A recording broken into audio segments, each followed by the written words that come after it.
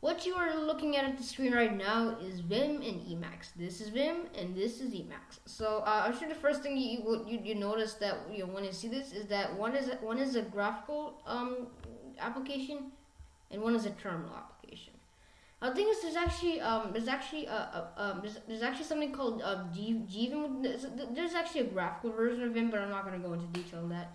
But by default, um, Emacs, um, well, I mean, so yeah, by default, Emacs um, is, is in graphical mode. Although there is an option for, for you to um, put Emacs in a terminal, but by default, it launches in a, in a GUI, which I think you might might just want to st- stick with that. Alright, so what are the differences between these two powerful um, programs, right? Like, you know, so Vim is actually just a text editor. And if, if, if you recall my previous which, which you can check out up here, um, so Emacs, I, I mentioned, was a lot more than text editor. Yes, you can do your, um, your regular, um, normal text editing. Um, or you can also do many other things. Like, for example, maybe, I don't know, you want to, um, you know, run a shell command. I'm pretty sure you can do that in Vim too, but yeah, okay. Let, let, me just show you. Like, so maybe you want to run a shell like you want to put a shell like like right in there, right? Maybe you want to put a shell right into Emacs. Maybe you want to invoke um, GDB. Maybe you want to compile something. Maybe you want to do some spell checking. Maybe you want a calendar. Maybe you want to browse the web. And no, this will not open Firefox. It's basically like a lightweight browser built uh, into Emacs. Maybe you want to read some mail. Uh, I'm pretty sure this is actually only local mail. I, I think I'm wrong. I, I haven't really played around this much. Much I have to admit, I was kind of lazy with it. Anyway, maybe want to decrypt or encrypt or verify a file. Maybe want to play some games. Maybe you want to play Tetris. And yeah, you get the idea. Yeah, Emacs is obviously a lot more than just uh than merely a text editor. Uh, yes, it is. It is. It is way more than merely a text editor. Far more than that. Um. Whereas Vim is just a text editor. So um, the thing is, uh, I would actually, so uh, if I were given a choice between Vim and Emacs, I would say it depends on what I'm doing. For text editing, I would use Vim because Vim's app is just so powerful for text editing, right? And uh, I would say for like like maybe for how about you know a nice game of Tetris, and of course Emacs because obviously Vim doesn't have that. Okay, see, so uh, uh, so um, I'm sure probably the first thing you're thinking is now hold on a second. If um if Emacs is a text, also has a text editor built into it, then why not just use Emacs? Why use Vim? Well, then again, so remember again, uh, as I mentioned, Vim is a very, very powerful text editor. So now, for example, like let's let's compare let's just compare the text editing in these two programs. Alright, so by default in Emacs, you are you're in insert mode, which means you can once you start typing something, yeah, it just just you know puts it right into that file or whatever. Just yeah, there you go. Uh, right. However, in Vim it's actually a little different. So by default, you are in something called command mode. Yeah, this is yeah. Basically, Vim is actually based on tech, uh, an older text editor called VI. Basically, Vim is VI improved, as you can see right here. Um, yeah, VI improved. So basically, uh, like like uh, following um, you know the footsteps of VI. Yeah, basically, so Vim by default is in command mode, which means you cannot start uh, typing in text. Uh, but basically, uh, once you get into insert mode, then you can start typing in text. Why, why would so you, so you might argue? Now hold on a second. Isn't that just wasting your time? Like I, I like, I, so you might be like, okay, I know that's that's only like, like two seconds. They they're wasting like probably like half a second, but like, doesn't it add up?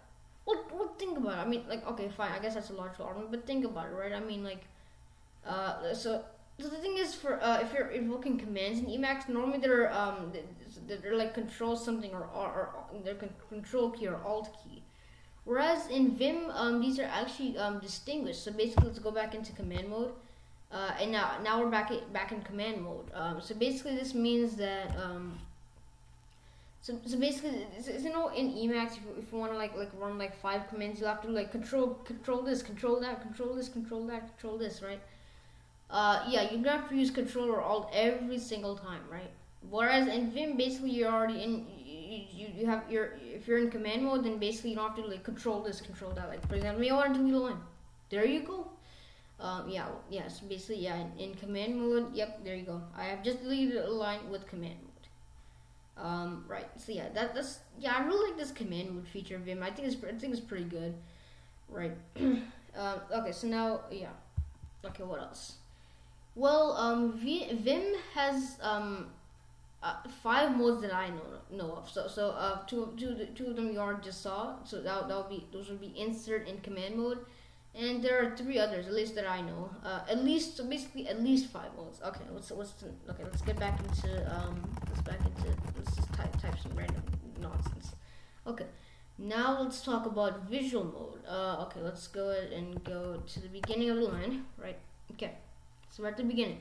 Now let's, uh, so now if, if you look over here, uh, we're in visual block mode right now, which basically, um, so you can see, maybe you want to highlight some text, um, there you go. And yeah, but, but by the way, I'm actually, uh, you can see I'm not moving my mouse around, I'm actually doing this entirely with the keyboard. So you, even if you're like, if you're using just a plain terminal, it would actually be like, like just like, like it would be like, like almost the same as like using your mouse, probably like exactly the same. And yeah, by the way, you can also like just directly use your mouse. Uh, I know this is a terminal, but yeah, yeah, the terminal version of Vim also supports using your mouse here. So you can do that. So that's visual. That's yeah. Okay, so, so now that's visual block mode. Uh, basically, like for example, let, let me let, let me just show you. Like, let's let's start start typing some more lines. Okay, let's go back here. And yes, you can use your mouse. Uh, you can uh, using your mouse is 100% supported in Vim, even in the, in the terminal version let's get back. So first of all, we're gonna go into command mode. Command mode. Now we're gonna go into visual block mode. And now we can start highlighting some text. And yeah, it's, it's the first character of every line. And maybe you want to delete all that. There you go. All that's just been deleted. And maybe we want to undo that. There you go. We have just undone it. Yeah, with the yeah, that's yeah in command mode obviously. Okay, and now yeah, there are three visual modes. So the first one, we, so we just looked at visual block mode. All right, now let's look at um, visual um, visual line mode. Uh, basically, the, yeah, as my as you would have, as you as you I'm sure as, as, I'm sure you've guessed it. Basically, it just you know highlights all, just highlights lines. maybe you want to delete all this um, stuff. There you go. We have deleted all of that. We've just deleted everything. Okay, and now the final one is just plain visual. Visual. Oh, sorry, no, not that. Um, just visual. Right. Basically, uh, this, this is sort of like visual line mode. I would I would say, like uh, basically, it's not it's not like like, the, the difference that visual line mode is, is specifically for like you know lines highlighting lines. Well, visual mode um, basically means that you know you can um, just highlight whatever, right? That's how that works.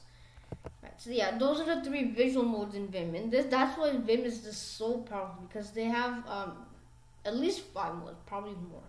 Right. The thing is that, like, unlike Emacs, they actually distinguish between you know command mode and insert mode and you know, um, you know, and the visual modes and things like that, right? But in Emacs, you only have one mode, which is just insert mode. Commands are always have like are, always going to be um, you know preceded with the control key or control key something or alt key something. Right. So yeah, I think uh, I think personally I think this is an advantage of Vim. I think I think this is this is a huge advantage for Vim. All right. Yeah. I think this is a huge advantage Vim. Alright, yeah, and Vim also has something called macros. Uh, macros are extremely powerful. Okay, like, let, let me just show you an example. Like, let's go ahead and just delete all this. Okay, um, let's go ahead and insert. Okay, hold on, sorry. Never mind. Okay, back to command mode. Let's um, go ahead and record a macro um, at the address A. No, I don't, I don't, that's not right. There. Okay, so now we're recording a macro at A. Basically, what that mean what this means is that once we're done recording the macro, uh, if, if, if we um, if, if, if we invoke if we invoke um, at A, then that means it's actually gonna, gonna repeat uh, everything we're doing. So right now we are recording at the macro A. So basically, whatever I'm about to do right now is gonna be recorded in that macro. So that means whenever we call that macro, all of all of that what, what, what we've just what we, what we have what we've just done will be repeated. Okay, let me just show you. So now, uh, so insert mode, and yeah, but we are, we are still recording the macro. We have not stopped. So for example, me I want to say hello world, right? Okay. Back to command mode, and uh, let's stop recording. Okay. Now let me just go and delete this line to show you. Maybe um, let's see how many times do we want to repeat this? How about we want? How about let's do this macro ten times? All right, and there you go. Um, uh, I, yeah, I, I think that worked actually. Yeah, it looks like it worked. Uh, what is this? Uh, actually, um, well, let, let, me just delete this thing real quick. Okay, anyway, uh, let's let's Oh yeah, uh, I, I think I messed something up there, but you can see. Uh, I, I'm pretty sure uh, for the most part, or we can do it again. For example, maybe this time let's do it um, at the macro B. Sorry, we're in insert mode. Okay, um, let's try it again. So maybe let's do hello world, and then we put in a new line. Okay, and then yeah, then we go to new new line. Okay, now let's stop recording. Let's try it now. All right, there you go. It is just printed hello world, and let's let's delete those lines. Let's see if we can print it ten times. One, two, three, four, five, six, seven, eight, nine, ten. There you go. It has just printed hello world ten times.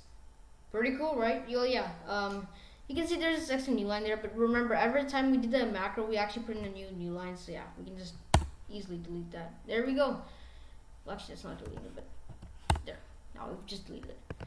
So there you go. Um, Vim macros. They are pretty powerful. Let me just tell you, they are pretty dang powerful. so yeah, and yeah, you can use this macro whenever you want. You know, um, like and you, you just saw like you know um like basically to call the macro just be you know at um whatever like at a at b and then you can you can, you can even uh, follow commands by a number like you can have like you can put a number before the command to, to actually specify how many times you want to do this um, and yeah, you, so yeah, Vim is, is a very powerful text editor, which is why I'm gonna um, use it for my text. And yeah, the thing is, I actually played with Emacs, and, like you know, like even as a text editor. But yeah, like you know, uh, I I. I just couldn't. Uh, I just could not keep up on Vim. So yeah, there you have it. Um, Vim versus Emacs. Uh, I hope you enjoyed the video, and I will see you next time, guys. Um, bye.